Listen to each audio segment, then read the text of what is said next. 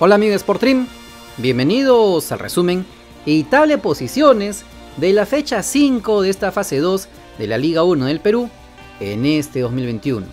Una jornada que empezó media flojeta y con pocos goles, sin embargo se levantó con las dos últimas goleadas en la jornada, donde se está viendo ya más o menos qué equipos podrían pelear el título hasta final del campeonato en noviembre y otros cuantos que se han levantado como Lázaro, han resucitado y ganado esta fecha y por ahí están pataleando para no poder descender.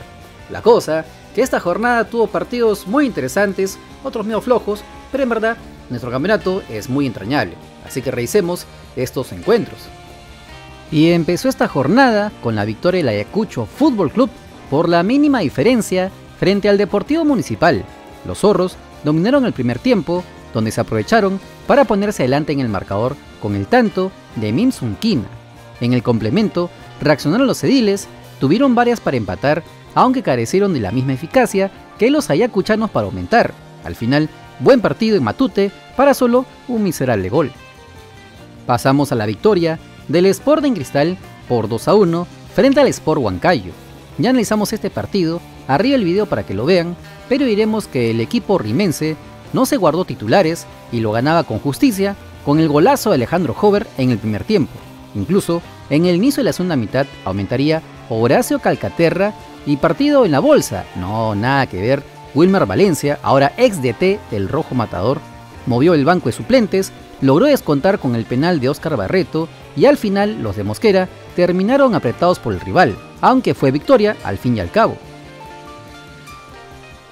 Pasamos al triunfo por la mínima diferencia del Deportivo Binacional frente al UTC Cajamarca. Un primer tiempo con pocas llegadas claras en ambos arcos, donde eran más los del Gavilán norteño.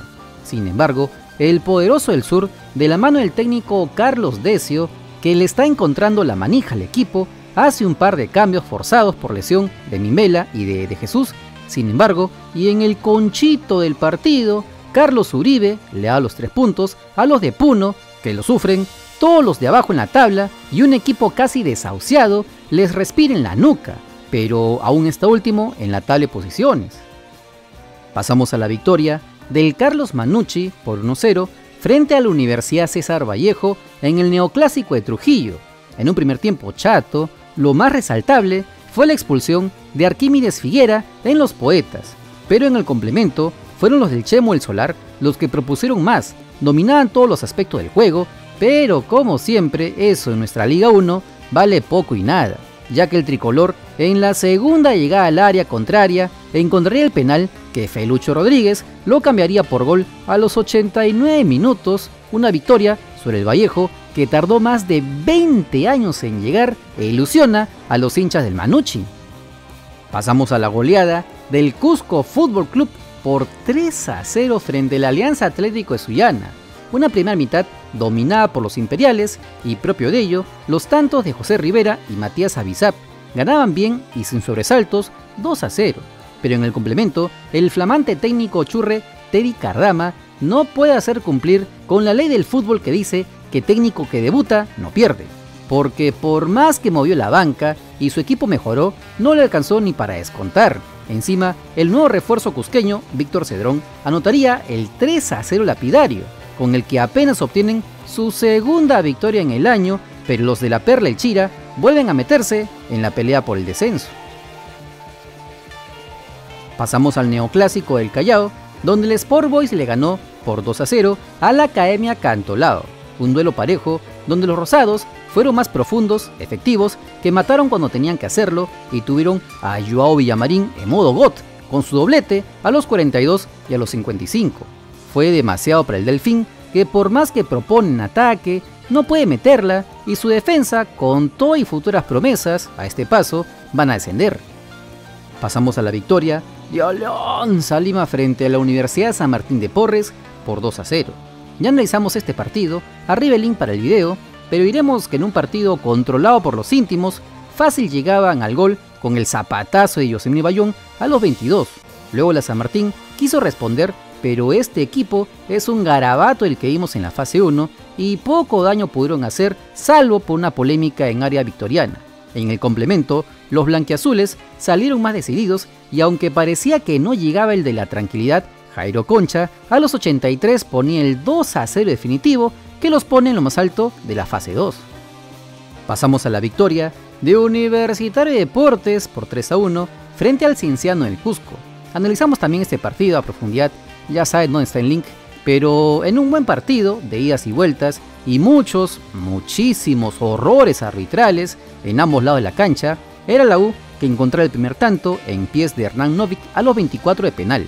Sin embargo, el Cinciano emparejaba con otro penal, en este caso Romagnoli, al borde del descanso, le daba la igualdad.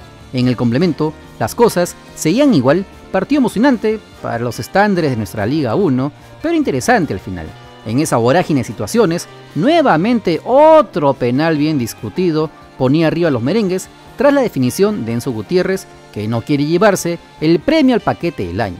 Y si bien el Cinciano tuvo algunas para empatarlo, el buen ingreso de Alexander Zucker sentenciaba el partido con el tercero sobre el final. De esta manera, la U se engancha en la pelea por el título nacional. Y para acabar toda la jornada, pasamos a la goleada del Melgar de Arequipa por 3 a 0 frente a Alianza Universidad de Huánuco, un partido dominado de cabo a rabo por los characatos que ya lo sentenciaban en 20 minutos, con los tantos de Johnny Vidales y Bernardo Cuesta de penal. Ni la magia de Raymond quiero volver a la selección manco, ni los ininteligibles de Uribe pudieron con el buen juego rojinegro, por eso el tercer gol de Cristian Bordacar no era raro, una buena y justa goleada de uno de los equipos que sin Sudamericana a la vista también quiere meterse a la pelea por la Liga 1. Ahora, si vamos a la tabla de posiciones de la fase 2, veremos que Melgar y Alianza son punteros con 11 unidades, aunque mejor diferencia de los arequipeños. Sigue Manucci con 10, 8 Cristal, Vallejo Municipal, Universitario, Alianza Universidad y el Binacional, aunque el Sporting Cristal de su partido contra la Universidad San Martín de Porres. Luego sigue Ayacucho con 7, igual que el Boys, Cusco con 5, igual que Cienciano, 4 de Sullana, 3 el UTC de Cajamarca, 2 Cantolao de Huancayo y al final la Universidad San Martín de Porres.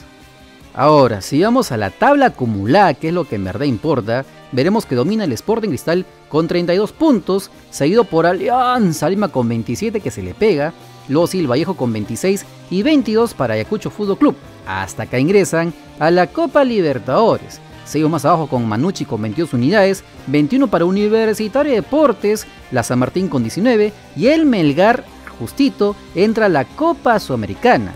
Cienciano está con el mismo puntaje, pero peor diferencia de goles. 16 para la Universidad de Huánuco, 15 el Boys del Muni con 14, 13 el UTC de Cajamarca, al igual que Alianza Atlético de Sullana, el Sport Huancayo, con 2 el Cusco Fútbol Club, que en este puesto estaría revalidando con el subcampeón de la Liga 2 para quedarse en la Liga 1 del siguiente año. Descendiendo estarían la Academia Cantolao con 12 puntos, al igual que el Deportivo Binacional, no se olviden amigos de Sportstream que estamos llevándoles la Liga 1, la Liga 2, la Copa Perú, partido de la selección peruana, los resúmenes de la fecha, las previas, los noticieros que tanto les gusta porque están en el canal del fútbol peruano. Si te gustó el video de like, comparte, suscríbete con la campanita. Nos vemos en el siguiente video. Chau.